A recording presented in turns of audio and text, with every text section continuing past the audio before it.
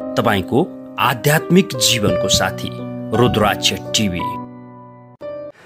नमस्कार रुद्राक्ष टिभी प्रेम शर्मा छु साथमा र आजको विषयवस्तु भोलिको रातबाट यस्ता सपनादेखि सम्झनुहोस् दिन राम्रो आउनेवाला छ भाग्य बलियो हुनेवाला छ।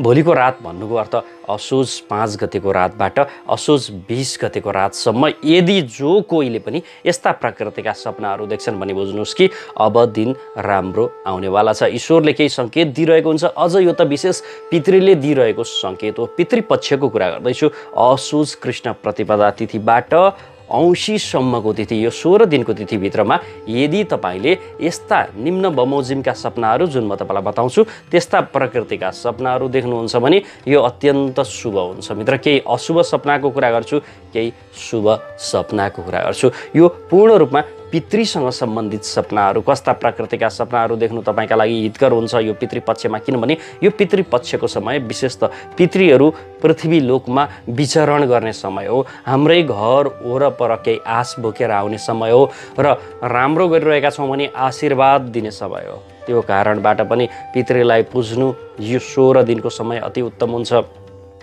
तिथिमा श्राद्ध गर्नु पिण्डदान दिनु अति उत्तम हुन्छ। किनभने यो सोह्र दिनभित्रमा जुन तिथि पर्छ त्यही तिथिमा गर्नुपर्ने हुन्छ। र विशेष त सोह्रै दिन तर्पण दिनु पितृका नाममा कागलाई पितृ नै सम्झेर अनि यसै गरी गाईलाई यसै गरी कुकुरलाई खाना खुवाउनु गरिबका नाममा केही दान दक्षिणाहरू गर्नु अत्याधिक उत्तम हुन्छ। यो समय अति सचेत रहनुपर्ने समय पनि हो। शुद्धतामा रहनुपर्ने समय हो। बेमेल र झै झगडालाई त्यागेर विशेष त एउटा आमोद प्रमोदमा समय बिताउनु पर्ने हुन्छ। र यस्तो समयमा यो रात्रिकालीन समयमा यदि तपाईँ सुतिरहँदा यस्ता प्रकृतिका सपनाहरू देख्नुहुन्छ भने अवश्य पनि यसले राम्रो दिनको सङ्केत गरिरहेको हुन्छ। अब कस्तो कस्तो प्रकृतिको सपना हो त म चर्चा गर्छु। जस्तै कि पाँच गतिबाट बिस गतिसम्म तपाईँले यस्ता प्रकृतिका सपनाहरू देख्नुभयो जस्तै कि मरेका मानिसहरू भनेका तपाईँकै आफन्त इष्टमित्र अथवा परिवारका जन जो बितिसक्नु भएको छ उहाँहरू आउनुभयो सपनामा र तपाईँलाई आशीर्वाद दिनुभयो। अत्यन्त शुभ सपना। तपाईँलाई चाँडै नै ठिकै निकै राम्रो हुनेवाला छ। बुझ्नु होला है तपाईँलाई चाँडै नै निकै राम्रो हुनेवाला छ। यो शुभ सपना हो अत्यन्त खुसी हुनुभयो हुन्छ किनभने यस्तो सपना देखियो भने यो सपनाले फल पनि अत्याधिक राम्रो दिन्छ। पितृ खुसी भएको सपना देख्नुभयो। हँसिलो मुहार पितृ खुसी छन् राम्रा लुगा लगाएका छन्। यस्तो देख्नुभयो भने पनि यो अत्यन्त शुभ सपना हो।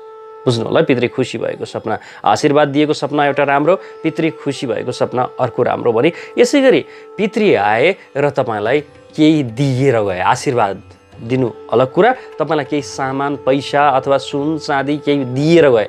पितृले दिएर गए र तपाईँले लिनु पनि भयो। बुझ्नु होला है पितृले दिएको र तपाईँले लिएको यो पनि अत्यन्त शुभ सपना हो। यसले चाँडै नै फल दिन्छ मित्र। बुझ्नु होला यो सोह्र श्राद्धको समय पितृपक्षको समयमा यदि यस्ता प्रकृतिका सपनाहरू तपाईँ देख्दै हुनुहुन्छ भने यो अत्यन्त भाग्यदायक सपना हो। आशीर्वाद दिएको भने राम्रो केही सामान दिएको भने राम्रो हँसिलो मुहार खुसी भएको सम्पन्न भएको देख्नुभयो त्यो पनि राम्रो। बुझ्नु होला है यस्ता सपनाहरू यदि तपाईँ देख्दै हुनुहुन्छ भने चाहिँ बुझ्नुहोस् कि तपाईँलाई उत्तम फलकारी फल मिल्नेवाला छ। अब नराम्रा सपनाहरू पनि हुन्छन् मित्र। यस्ता सपना देख्नु अत्यन्त राम्रो भयो भने अब नराम्रा सपनाहरू पितृले बार बार आएर तपाईँसँग केही माग्नुहुन्छ। यो राम्रो सपना होइन मित्र। पितृ असन्तुष्ट छन् तरेका छैनन् भन्ने अर्थ लगाउँछ। त्यो कारणबाट पितृलाई पितृको नाममा दान दक्षिणा तर्पण गर्नु आवश्यक छ। पितृ तरेका छैनन् भनेर बुझ्नु होला पितृले बार बार तपाईँसँग केही माग्छन् भने। पितृ दुखी देख्नुभयो। खुट्टामा चप्पल पनि छैन फोहोरी लुगाहरू लगाएका छन्। एकदम दुखी जस्तो देख्नुभयो यो अत्यन्त अशुभ हो मित्र। पितृका नाममा कर्म गर्न तपाईँले बाँकी छ। पितृको उद्धारका लागि कर्म गर्नुपर्ने आवश्यकता छ। पितृ तरेका छैनन्। यसै गरी पितृ रोइरहेको तपाईँले देख्नुभयो यो अवधिभर पितृ रोइरहेको देख्नुहुन्छ भने पनि बुझ्नुहोस् कि अब यहाँनिर केही गडबड छ। पितृ तरेका छैनन्। पितृ अप्ठ्यारो अवस्थामा छन् गाह्रो अवस्था छन्। पितृका लागि केही कर्म गर्नु आवश्यक छ। यस्ता सपनाहरू पितृले बार बार माग्नुहुन्छ अथवा एकदम फोहोरी अवस्थामा एकदम गरिब अवस्थामा दुखी अवस्थामा देख्नुहुन्छ पितृ रोइरहेका छन् मागिरहेका छन् यस्तो अवस्था हो भने अत्यन्त अशुभ र पितृ आएर तपाईँलाई भरमार गाली गरेको सपना बेसरी गाली गरेको सपना तपाईँ देखिरहनु भएको छ भने पनि यो शुभ सपना अन्तर्गत पर्दैन मित्र। यो सपनाले के अनिष्ट हुने सम्भावनालाई जोड दिन्छ बुझ्नु होला है पितृले यो विशेष त गाली गरेको सपना अनिष्ट हुने सपना हो। आशीर्वाद दिएको अति उत्तम तर गाली गरेको अति नराम्रो सपना हो। यस्ता सपनाहरूको सन्दर्भमा म बताउँदैछु। अनि यसै गरी पितृ तपाईँलाई लिन आउँछन् र तपाईँ पनि पितृ सँगसँगै पछि लागेर जानुहुन्छ।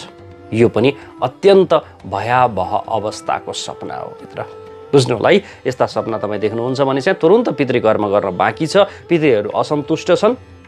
यो पितृकर्म गर्न बाँकीको अवस्था देखायो भने योभन्दा अगाडि बताएका सपनाहरू चाहिँ अत्यन्त शुभ सपनाहरू हुन्। पितृ सन्तुष्ट छन् भन्ने अवस्थाको सृजना गर्छ।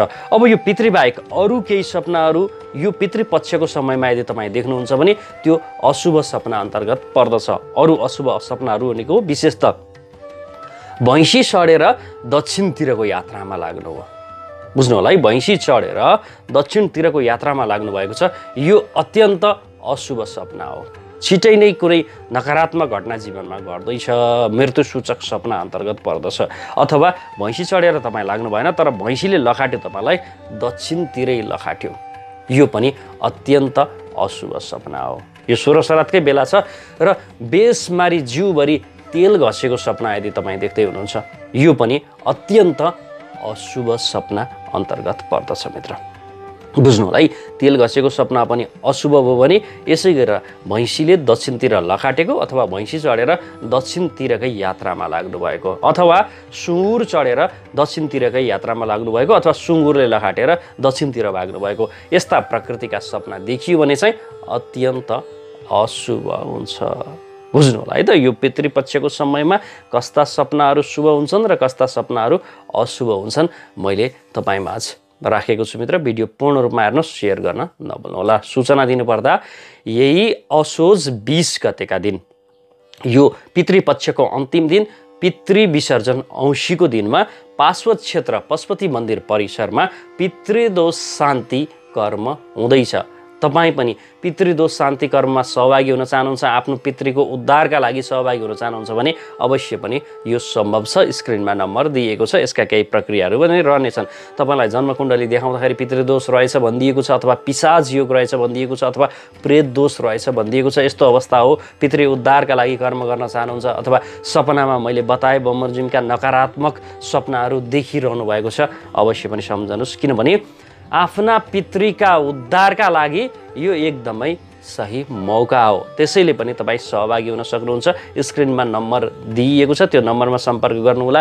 केही यसका प्रक्रियाहरू रहनेछन् ती प्रक्रिया पार गरिसकेपछि भने अवश्य पनि विशेष तपाईँ सहभागी हुन पाउनुहुनेछ भने साथै चिना टिप्पण घरको वास्तु तपाईँ केही देखाउन चाहनुहुन्छ राष्ट्रभित्र हुनुहुन्छ अथवा राष्ट्र बाहिर हुनुहुन्छ सम्पर्क गर्नुहोला। अनलाइनबाट हेर्नका लागि केही यो विशेष त प्रक्रियाहरू रहनेछन् ती प्रक्रियाहरू पार गरिसकेपछि हेरिनेछ भने यो कार्यालय आएर देखाउनका लागि नाम टिपाउनु पर्ने हुन्छ। त्यसका लागि पनि तपाईँ सम्पर्क गर्न सक्नुहुन्छ। आज महत्त्वपूर्ण सन्दर्भ तपाईँमाझ दिएको छु। यस्तै भिडियोहरू लिएर आउँछु नै। अहिले प्रेम शर्मा बिदा हुन्छु। नमस्कार। तपाईँको आध्यात्मिक जीवनको साथी रुद्राक्ष टिभी।